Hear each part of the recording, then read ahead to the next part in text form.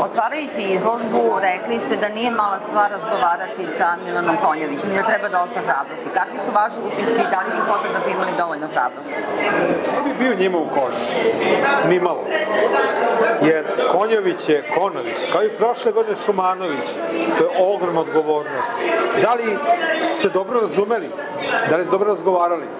Čini mi se da jesu, da su dobro razgovarali, da su dobro razumeli i da su našli onu nit koju Konjević ima u sebi i kroz boju i kroz taj pokret, samu, onako da kažem, e, lepotu tog zamrznutog kadra koji je postojao, koji postoji njegovim slikama, a koji su oni nekako ponovo vratili u sadašnjost i dali ga opet zamrznutog, ali živote na drugi način.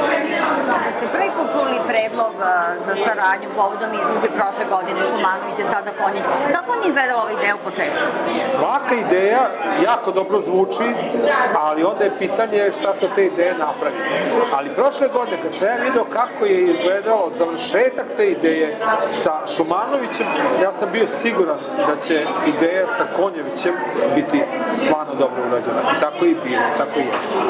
Šta bi vaš bio sledeći predlog? Šta bi bio predlog za sledeći put? Pa, možda neki, e, možda neki naivci, eventualno, možda Ilija Bosin, ili Ne nešto, bilo bi zanimljivo otići u galeriju Mace Srpske ili u galeriju Benjanski u Novom Sadu. Pa možda ne od jednog autora, nego od galerije napraviti priču. Možda.